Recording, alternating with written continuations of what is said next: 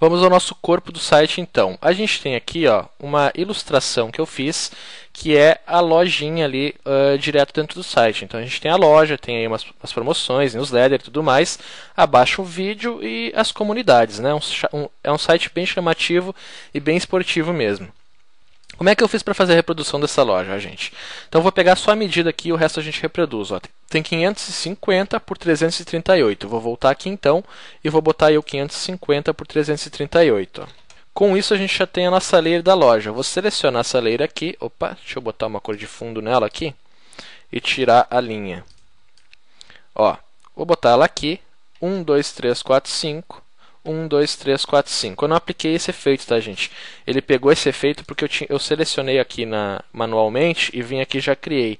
Então ele já vem com um efeito aqui, mas a gente vai remover esse efeito daqui e vai reproduzir o mesmo efeito que a gente tem aqui. Então aqui embaixo a gente tem os quebradinhos. Ó. Vou fazer em mão livre aqui sem copiar muito, para vocês verem como é simples. Você pega aí a Pen Tool, vem aqui, dá um clique bem na ponta ó, e vai só fazendo aí uma seleçãozinha bem bacana para fazer aquele quebradinho estilo folha, né?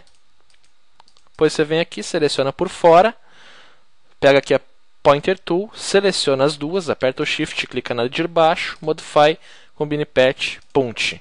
E a gente já tem aí o estilo lojinha, né? Que é aquele quebrado. Até aqui, ó, depois que você vê que você fizer o efeito, se você não gostou de algum dos quadros, você pode vir aqui selecionar a Subselection Tool e mover um deles aqui para melhorar. Então você vai dando uma ajeitadinha, vai ficando mais bacana aí o seu estilo, a sua montagem dentro disso. Depois você vem novamente com a Pointer Tool, seleciona novamente de baixo, Modify, Combine Patch, Punch. Se não gostou, só dá um Ctrl Z voltar e fazer de novo, tá? E depois disso, o que, é que eu fiz? Olha só, a gente tem um estilo meio que madeira aqui, né, gente? Meio que, que uma, uma tábua quebrada, né? Então, assim, ó, selecionei aqui novamente, vou vir em Styles, e a gente tem aqueles vários estilos que a gente já tinha falado nas aulas passadas. O que eu quero aqui ó, é o Wood Style. Eu vou pegar esse primeiro Wood aqui, ó, deixa eu clicar aqui na layer novamente, e ele já vai aplicando para você todos os estilos que tem aqui. É só você selecionar o que mais se encaixa e beleza. O que eu quero é esse aqui, ó. Você vê que já fica quase igual, só que aqui a cor é diferente, né? Como é que eu faço para alterar esse estilo? Perceba que aqui dentro dos filtros, ó, quando você aplica aquilo, ele aplica vários uh, estilos, vários filtros aqui para você. E onde é que a gente tem uh, os filtros de cor? Está dentro do Photoshop Live Effect, ó, que é esse primeiro quadrinho aqui. Ó, é aqui que você aplica esse tipo de efeito. Então eu vou abrir ele aqui, ele vai nos dar aqui uh, o quadro do efeito, está aplicando um Color Overlay e um Gradiente Overlay. Eu vou pegar o Color Overlay, vou abrir aqui o Color e vou lá no verde do mar. Então é apenas isso que eu fiz para reproduzir aquela loja. Fica um efeito super bacana, super inteligente, né? E bem facinho a gente cria. Depois disso eu ilustrei, mas antes a gente vai criar os outros elementos, tá? Então tem aqui uh, um quadro com Quick Promoções. Já vou copiar aqui o texto, ó, Ctrl C, Ctrl V. Só para você saber reproduzir certinho aí, é uma letra Arial, bold, mas você vai ter também aí o, projeto para estar tá reproduzindo certo, né? O que, que eu fiz aqui? Eu peguei aqui um Rectangle Tool, vim aqui com esse retângulo, ó, medi, colei aqui e fui até lá ao fim, ó, colei lá no fim também. Só para a gente reproduzir certinho, ó, aqui tem uma altura de 50 pixels. É claro, você vai estar tá medindo, né? Se não fizer pelos 50 pixels, vai estar tá botando aí os elementos que você quer aqui dentro, depois faz a medida certinha. Então ele tem 50 pixels. A cor desse, desse quadro, eu vim aqui e selecionei esse vermelho aqui dentro. Ó. Então ele já cria aquele vermelho para gente. Depois eu vim aqui no, nos efeitos e você tem todos os efeitos para aplicar e mudar o fundo desse, desse seu layer. Ó. Você pode aplicar vários efeitos aqui cada um deles vai reproduzir um efeito diferente. O que eu apliquei lá foi esse grid 5, ok? Vem aqui, clica em transparente, ele aplica o efeito para você certinho. Depois disso, a gente vem aqui, deixa eu botar o 50 direct aqui, que é o igual lá, e eu vou botar aqui, ó, tá com 305. Eu vou diminuir 10 pixels para deixar 5 de espaço em cada lado. Então, eu vou botar 295. E vou andar 5 pixels clicando na seta. Ó. 1, 2, 3, 4, 5 setinha do teclado. Depois aqui a gente tem dois elementos em espiral. Eu só vim aqui, ó, peguei o espiral, cliquei aqui, criei um espiralzinho aqui. Com a Pointer Tool eu volto um pouco ele, ok? mais ou menos aqui, bem alinhadinho. Vou pintar a cor da borda de branca, vou dar um Ctrl C, Ctrl V e vou andar com ele um pouco para o lado. Ctrl Shift T e vou diminuir em 70%. Então a gente tem já o nosso efeito aqui. Correto? Deixa eu só ver se eu não aumentei a borda aqui. Não, é isso mesmo. Então aqui se você quiser ainda estar tá trocando a cor, deixando ela um pouco mais fraca, como está aqui, ó, até o que eu mostrei, eu mostrei errado para vocês. Eu disse que eu peguei aqui, na verdade essa cor eu peguei aqui na logo, ó, que é o mesmo efeito que tem atrás da logo, ok? Então você seleciona aí a parte que você quer aplicar, é bem essa cor que eu quero. Vou pegar aqui a Quick Promoções, Ctrl Shift seta para cima e vou alinhar aqui dentro do meu palco. Aquele efeito que a gente tem de promoções, eu procurei por Quicksilver também e eu encontrei essa imagem, ó, que é o Riders. Eu só peguei ela e joguei aqui. Já achei ela do tamanho correto, então é só a gente jogar aqui. Ó. Aqui eu alinhei a imagem ao palco de cima. Então você tem o palco de cima aqui, só vir aqui e puxar um pouquinho a imagem, aumentar um pouquinho só. Não vai distorcer porque a gente aumentou pouca coisa e consegue fazer o efeito do mesmo jeito. Abaixo disso a gente já tem o nosso newsletter. Nosso newsletter, deixa eu colar aqui, ó, 1, 2, 3, 4, 5 para baixo. Nosso newsletter vai ter aqui, o que, que vai ser isso aqui? Vai ser um chamativo para a pessoa assinar o newsletter do seu cliente. Então a gente logo abaixo já bota o formulário. Deixa eu alinhar aqui de novo, ok. Vou criar aqui então, vou pegar a ferramenta de texto e vou botar aqui, ó, receba as promoções, ok? Pointer Tool novamente, vou pegar aqui a cor do texto e vou pegar a cor daqui. Ó. E é isso aí que eu quero. Vou botar aqui um 20 pixels, reduzir um pouco, que é só o texto, vou largar aqui. Ó. Agora a gente pega aqui novamente a Rectangle Tool e vamos reproduzir lá o, o formulário. Né? Eu vou vir até aqui mais ou menos com ele.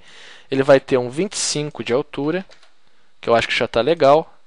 Acho que vai poder ser um pouco mais, deixa eu ver aqui. É, pode ser um pouquinho mais, ó. Vamos botar um 30 aqui. 30 já ficou beleza. E se você vir aqui, ó, eu tenho novamente aplicado um estilinho de formulário, né? Então vou pegar aqui no Styles, vou vir aqui em Form, Inputs, Styles e vou pegar aqui um estilo dentro do formulário. Ó. Quando você aplica isso, ele aplica também aqui um efeito. Né? Então você pode estar alterando também o efeito, mas no nosso caso aqui a gente só precisa alterar o plano de fundo, que eu vou pegar aqui também. Ó. Opa, aqui a borda, deixa eu voltar, aqui o plano de fundo. Então ele já pegou o vermelho lá, a gente vem aqui no Size Color Picker novamente dá uma clareadinha nesse vermelho para ficar mais simples aí de você colocar uma letra, de aplicar um efeito depois. Aqui depois, ó, como a gente tem aqui um 30, eu criei aqui só um OK. Então você vai ter um botão aí de 30 de altura por uns 50 de largura, vai botar o, o, a borda zero, o plano de fundo, você pega com a imagem. Então vou vir aqui, ó, vou escrever OK. E agora a gente só pega uma letra bacana, gente. Sempre que você quiser estar tá pegando uma letra diferente tal, bota aí no Google fontes para o Windows ou apenas escreve fontes, você vai encontrar aí vários sites. Tem o, o fontes.net, que é muito interessante. Tem vários sites aí para você baixar fontes. Baixou a fonte, vai lá no seu painel de controle, você vai encontrar uma pastinha chamada fontes, né? É só pegar e colar lá o conteúdo descompactado lá dentro. Então eu botei aqui um OK, tá? Usei aqui a fonte que eu uso na minha logomarca. A cor dela é um vermelho um pouco mais forte para dar aquela destacada. E eu vim aqui, ó, Scale Tool, novamente, vim aqui e girei um pouco a fonte. Então é um botão bem simples de criar, só a escrita com um ângulo um pouco diferente. Aí você pega novamente a cor aqui ó, e pega dentro de um quadrinho a cor dele. Vou vir aqui novamente e vou dar uma escurecida um pouco mais escura. Até pode ser um pouquinho mais, vamos lá. Até encontrar uma que fique bacana. Ó, assim eu já gostei. Já me agradou, fica clean, fica um, um negócio que não agride, né, gente? Fica bem bacana. Depois disso, aqui abaixo, a gente tem o play, que seria um vídeo aí de demonstração. Como é que você faz para ilustrar isso? Você pode abrir aí uma página da web, vai aí no YouTube e procura por, um vídeo do conteúdo. No nosso caso é uma loja de skate, eu botei aqui ó, skate, e ele já vai relacionar para a gente vídeos de skate. Aí você seleciona um desses vídeos, vou selecionar aqui ó, Best Skateboard Trick Ever, e vou deixar ele rodar um pouquinho. No momento que ele está rodando, você escolhe aí aonde você quer a cena, vai lá no seu teclado e aperta Print Screen. Volta no seu Fireworks, Ctrl N, ele vai pegar a medida da sua tela, você dá um OK e dá um Ctrl V. Então você tirou um screen da sua tela onde estava o vídeo do YouTube.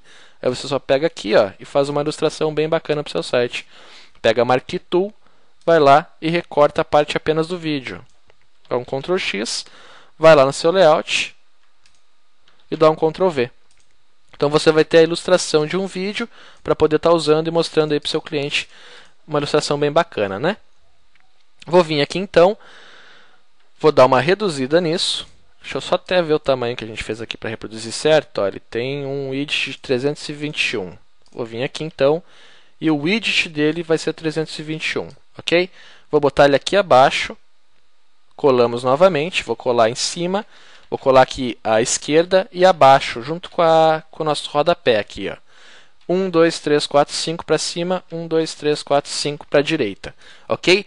É mais ou menos isso que a gente tem aqui, ó. É o videozinho e em cima a gente tem um elemento, né? O elemento de cima, eu vou vir aqui, vou pegar Rectangle Tool novamente e vou criar o elemento certinho aqui, ó, junto com o vídeo e junto com a nossa loja lá em cima, tá?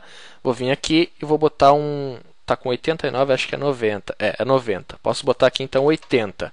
1, 2, 3, 4, 5 para baixo, ok?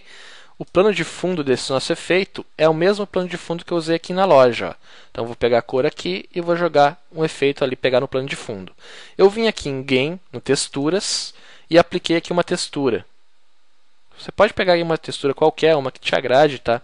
Uma que, acha, que você acha que vai ficar bacana e reproduzir assim, ó. Tem várias texturas aqui. A que eu estou usando aqui no, nesse layout, ó, se você vir aqui, é a Sand.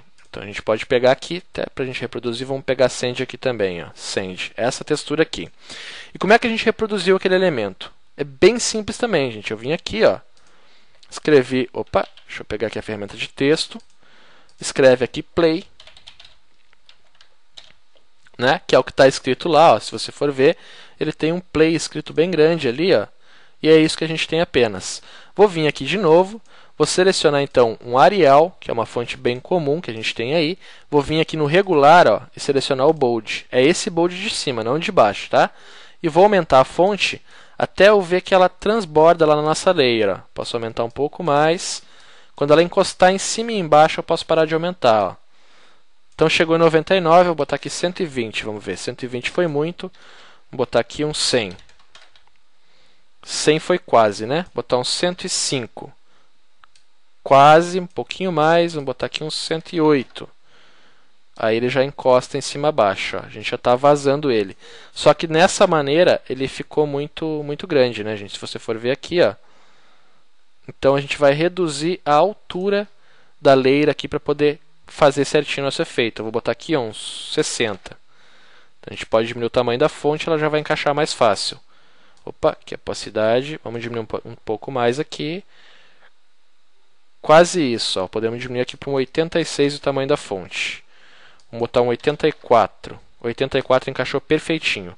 Vou alinhar aqui ao canto, vou selecionar os dois e vou descer agora para alinhar o meio aqui das boxes. Ó deixando o espaço igual da loja e do nossa layer, né? É mais ou menos o que a gente tem aqui. Ainda aqui, ó, a gente pode subir um pouquinho mais e subir um pouquinho nosso nosso skate aqui, nosso vídeo, para ficar mais pertinho. Agora aqui eu pego a, a, letra e pinto ela com a mesma cor do fundo do nosso palco, então ele já dá esse contraste para gente. Vamos pegar novamente a ferramenta de texto, vou vir aqui, cliquei fora, vou até fazer aqui em cima, ó, skate, Agora, esse skate eu vou pegar aqui a cor novamente da loja, só que eu vou vir aqui nessa cor e vou dar uma escurecida nela, para dar uma destacada a mais. Vou botar aqui um 30 pixels de tamanho. Vou vir com ela aqui, ó. Então, play, skate, vou dar um Ctrl C, Ctrl V, vou vir com ela para baixo e vou escrever aqui o boarding. Ó. Então, play skateboarding, né? Vou vir aqui na fonte, vou diminuir para 20 pixels, deixando menor, e a gente bota aqui embaixo. Então a gente já tem um efeito bem bacana e bem fácil de reproduzir, que ao você ver, você diz, pô, que efeito legal e tal, como é que faz? É simples assim, gente, é combinação de vetores com efeitos do, nativos aí do seu Fireworks. Depois disso, eu vim aqui em Commons, 2D Objects e fui até lá embaixo, ó, vendo se eu encontrava alguma coisa. Então eu vi que tinha esse videozinho que se encaixa lá e eu achei essa câmerazinha. Eu vim aqui com a câmera e larguei ela aqui dentro. Ó. Aí você alinha ela aí ao seu palco, mais ou menos onde você quer, seleciona lá o Photoshop Live Effects, vem Color Overlay e pinta ela de branco. Então você já vai ter aí o seu elemento criado.